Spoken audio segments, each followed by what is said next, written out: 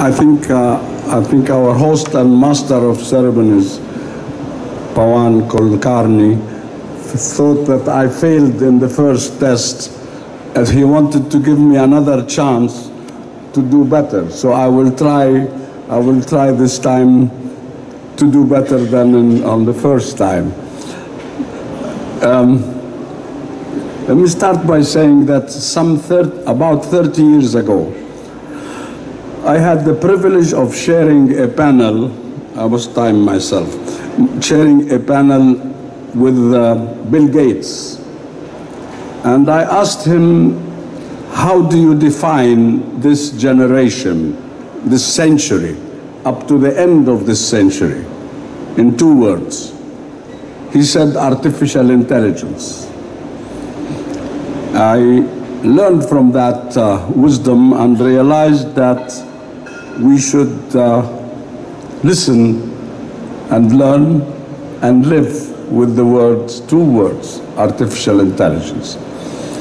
Artificial intelligence is not only going to make machines better, more knowledgeable and more intelligent, but is going to change human beings as well to become better human beings. Most of the time, people think of artificial intelligence as addressed to the machine. It's at the same time as effective in changing us, the ability to think, our memory span, our physical power, and it can prevent diseases instead of treating them and in many other ways. I'm not here to talk about artificial intelligence. But I want to say that in cybersecurity, we definitely need to have an artificial intelligence strategy. We need to have artificial intelligence experts on how to develop uh, the uh, capabilities in cybersecurity. We need to move from cybersecurity protection to cybersecurity resilience and to think of how can we become resilient and not just protective. And uh, I think we need an artificial intelligence mesh, mesh for smart um, analytic technologies. We need to know how to use big data again in, our, in resilience. And we need a regional, you know, in cybersecurity, and I have chaired many UN agencies, as we said earlier, and one of them was on internet governance. And I formed the Internet Governance Forum and I chaired its first meeting in Munich in 1992. That meeting focused on the need on controlling and managing the internet. Without managing the internet, there will be no security in this world. And unfortunately, rightfully so, the US owns the internet. It's my asset, the Americans say. And I have written to John Biden as Speaker of this Senate, telling him that we need this for the safety of the US and of the world. We need to develop a management control, a, a, a governance system. I'm not talking about the ownership. The most valuable asset in the world today is the internet. It's probably 100 trillion worth of dollars. And although I am the chairman of the largest intellectual property company in the world, I cannot put a value on the internet. It is an American asset, of course, and we believe in ownership. But unless we use the internet, unless we develop some kind of control, the only control available in the internet, by the way, the only system is on the domain system, the domain name system. That's all. But it's a free. The Americans' approach is that this is free, another world. It is not in this world, so nobody can control it. There are no boundaries in the cyberspace, in the virtual world. So there is no cross-country relationship. There is no sovereignty for anybody. I respect all of that. What I'm talking about is being able to develop a system of control so that it is not abused, it's not used for the purposes which is what it was not created for. If we cannot do that, let's at least do it in cybersecurity. Let us try to develop, and, or, and I call on the cybersecurity community to develop a model standard on cybersecurity with codes, same codes, same laws, and uh, we believe, as I said earlier, in standard setting. We are, par- we are on the committee that sets the ISO standards for the world. On the technical committee, we've been on that committee for 30 years now, serving on how to set ISO standards. And that's why the ISO system is working well. We need to develop standards, laws, and uniform policies on security globally. We need to develop a sec- cybersecurity culture because it is intended for people as much as it is intended for the people who control the cybersecurity system. The cybersecurity system is not just for the military or government, it is for us, the ordinary citizen like myself. So we need to create this uh, culture and awareness of the, this. Um, we need a dedicated cybersecurity resilience department in the military, in every branch of the military. And we need um, cybersecurity infrastructure development. I think we, we lack a great deal in our cy- cybersecurity technologies and in our cybersecurity systems. We are much behind compared to other technologies and compared to other industries in the world. There is much more that can and should be done in that, uh, in that direction. I think that uh, cybersecurity is now more important than any other aspect of the military operations because it's the one that touches on everything. It touches on your ground forces, on your air force, on your uh, every every part of your operation. And we are not aware yet, and we think cybersecurity is for just one objective or for one purpose or one department or one country. We need cross-country and cross-sector policies on cybersecurity. And that is lacking worldwide and is lacking at the country level.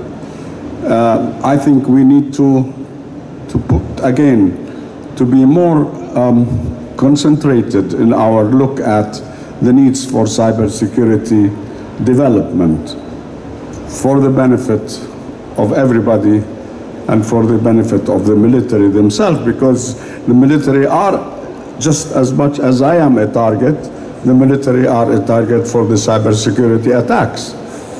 So the, the, the, this is one cross-sector and cross-country and cross-activity service that has impact on everything.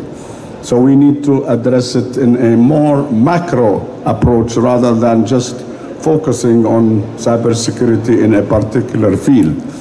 If it hits that field, it hits me. If it hits the other field, it hits me as well.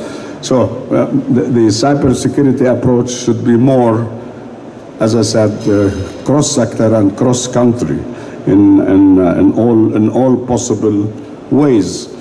I would like also here to, to emphasize uh, the importance of realizing that we need in our chain, in our schooling in the military, at least I have done it in the private sector.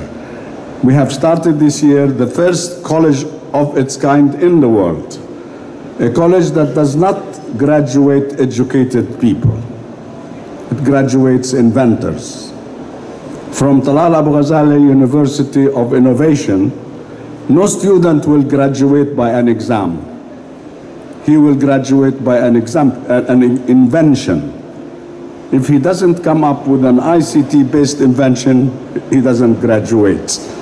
So we're moving to education for innovation.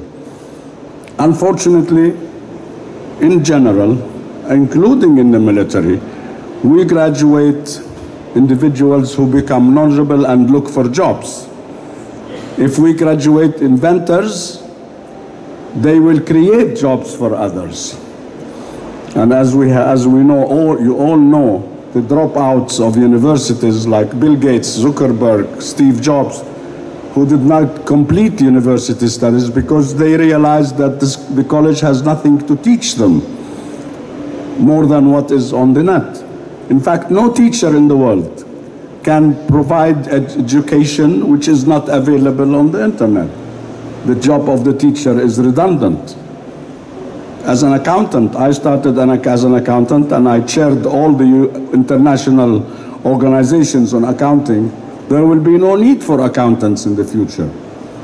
You will just have the international accounting standards, you plug them into the accounts of the client, and you get the report.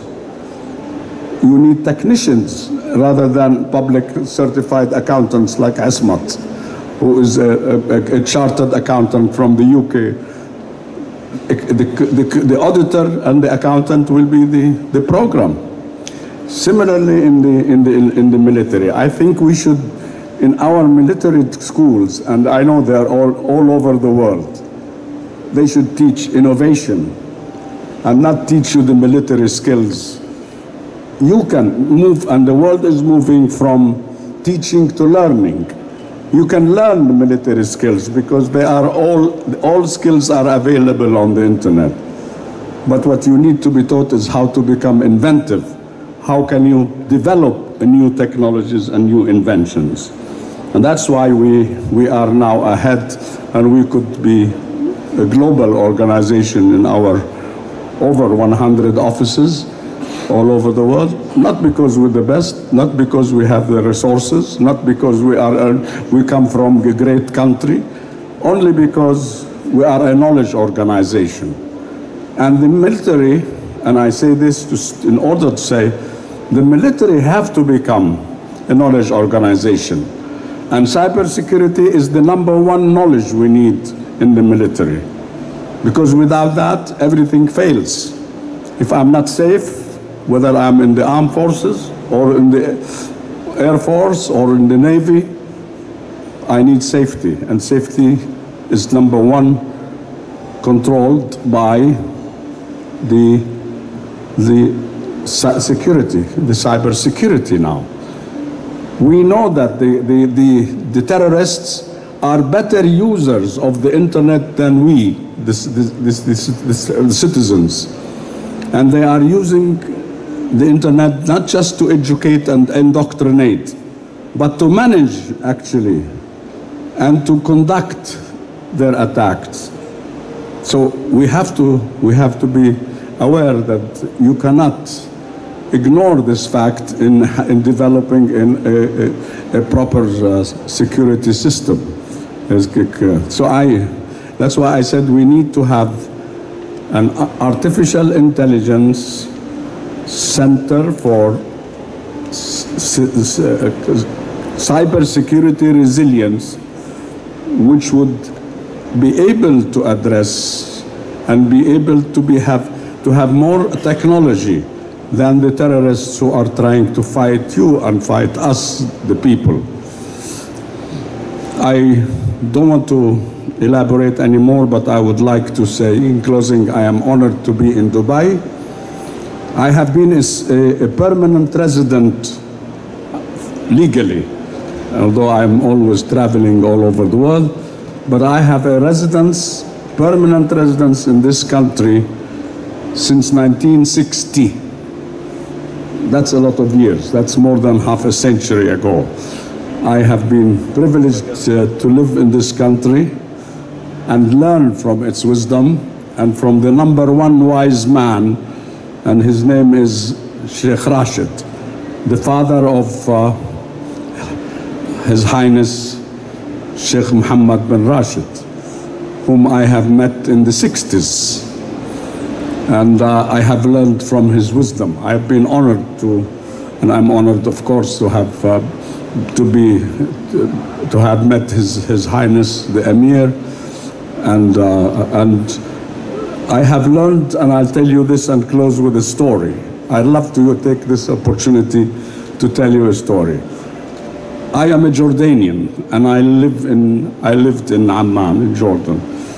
At that time, the king was King Hussein, who is the father of the current king, of whom I am honored to be his friend. But I was also had a great honor of being a friend of His Majesty King Hussein.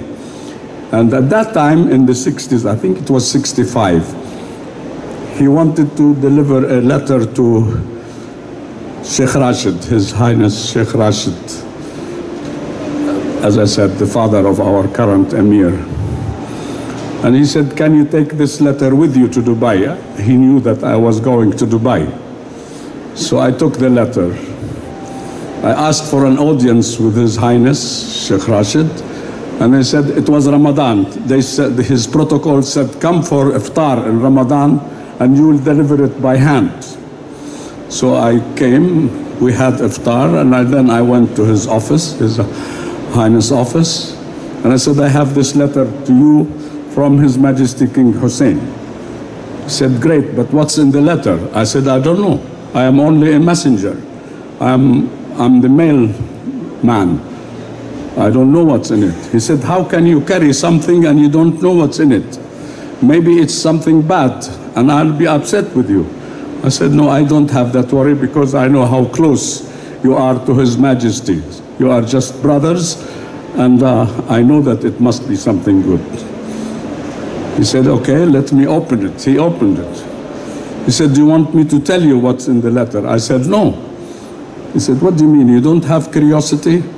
I said, No, if His Majesty wanted to, me to know what's in it, he wouldn't have closed it and he wouldn't have, and he would have told me what's in it. So since His Majesty wants it to be confidential, I respect his wish and I don't want you please to tell me what's in it. He said, Young man, and I was a young man at that time, I am at least 20 years younger than His Highness at that time.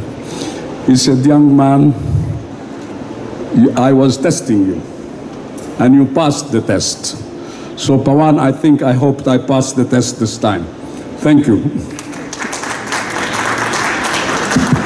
Thank you. Thank you so much, sir. Uh, since we have His Excellency Talal here, I would request you to take the opportunity of asking him a few